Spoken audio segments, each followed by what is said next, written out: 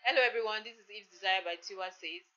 Some of you may know me from my weekly column on the Eagle Online News website, where I write on topics like um, orgasm, foreplay, how to uh, give your man pleasure, give your woman pleasure, BDSM, and a host of other sexual topics. So basically, I'm your pleasure therapist and I have decided to come to this space uh, because a lot of people, I get a lot of questions from my write ups, and then I decided to come here so that I can connect better and also answer some of your questions and just communicate with you better.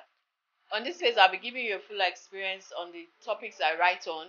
I'll even be sharing new topics here, and you'll be able to answer uh, to ask your questions, and I'll be able to uh, um, answer you in real time. Uh, I would also like to know that I've started a new series on the Eagle Online website, news website. It is an erotica series and it is a hot one, so you should um, check it out. So don't forget to like this video and subscribe to this channel and watch out for our next episode, our first episode actually, where I'll be talking on pleasure points in the body. So till then, take care.